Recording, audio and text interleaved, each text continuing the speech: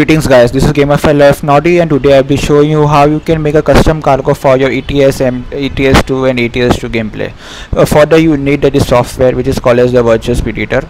Uh, I will be uh, sending the link of it in my description box. Once you have extracted it, will look like this Virtual Speditor. You have to click on the Virtual Speditor software, the one which is less of 199, 189 KB. Apologize for that, 189 KB. Click on that and then you have to select a profile directory of yours uh, it is I will show you where exactly it is safe. Go to this browse click on your PC this PC it's under C drive PC then your documents since already it was selected I have to just redo it uh, yeah and then click on uh, ETS Euro Truck Simulator 2 click on OK oh one minute sorry. Uh, yeah ETS your profile under save go to one and click on ok once it's done you have to just click on load games. And it will totally load into your save game profile. Now all you have to do is make sure you untick this suggest random company. Select your source from for example let me select Birmingham to Plymouth. Plymouth let me select uh, Volvo cars as a cargo. Yeah. Company you can select is Posped and here you can select stocks. Uh, basically you can select any company of your choice. There is no need of any compulsion. You have to select what i have selected. Uh, you can click on urgency level 1 or 2 depending upon your it's it's a personal preference. Uh, i usually recommend do not do this or else uh, you will have very few less time for delivery of cargo and uh, high amount of distance to travel. Once you have done click on air cargo click on yes save and then just load the profile. Once it's done then i will show you my in-game cl clip how what exactly you have to do. But yeah i have already mentioned in in-game video about um, saving your profile but i will just mention it again. Once you do all this procedure make sure you go make sure you log in into your game irrespective whether it's a single player or multiplayer don't care about that. You can go anywhere wherever you want. Yeah? One yeah. Yeah? Save your current profile. By saving the current profile means uh, just override your current game save. And make sure there is only a one save game in your total profile. If there will be more than two save game then the game and the software will just mess up and confuse with your with the cargo. So just save the current profile then do these uh, steps which I have told you and then you uh, just go into your profile. Make sure to turn it off or close this or just you can minimize this as per your convenience. And then log in into your game. If you are doing TMP then TMP or uh, not single player and single upon your call.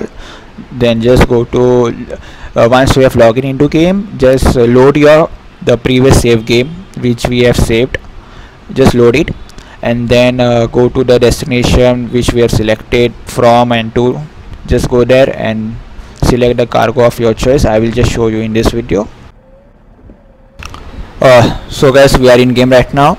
Uh, just uh, I want to inform you guys before you uh, try all these uh, the steps which I have told you make sure you have saved your previous file.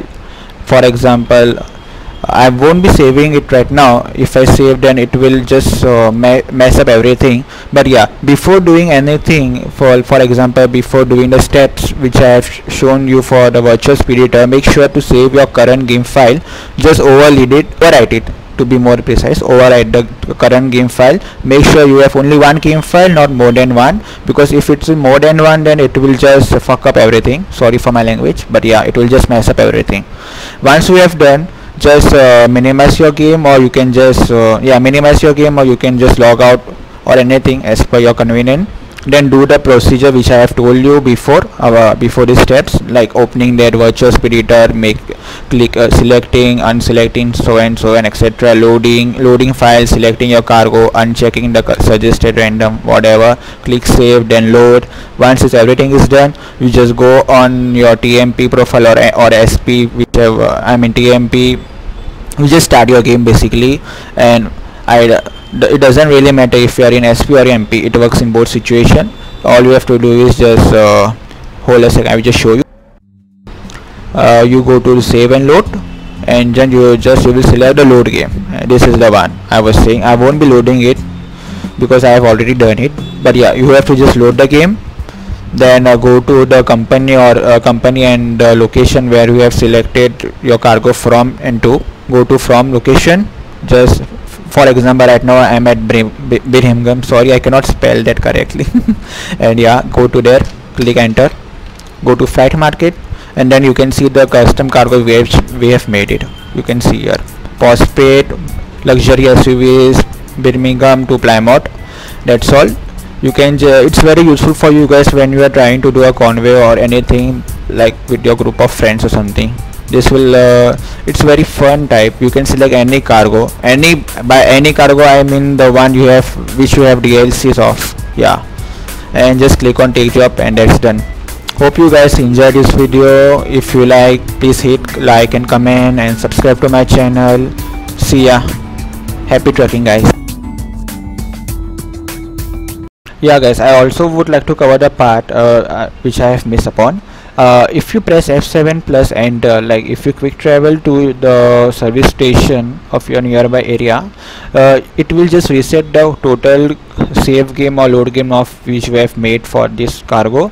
So it's recommended either you hit F7 plus enter before after taking the cargo or if you are uh, or if you want to enter it like if you want to go to the service station or something like that just make sure you go to your service station and then you make any custom cargo of this. If you do it afterwards then it will just uh, fuck up everything and your cargo won't be shown in the cargo list. That's all. Sorry for not covering this earlier I would also like to cover the part like uh, you can also use this software for ATS as well. Like you can create the custom cargo for your American Truck Simulator game as well. That's all. Thank you. Using the same procedure like I've shown it. Thank you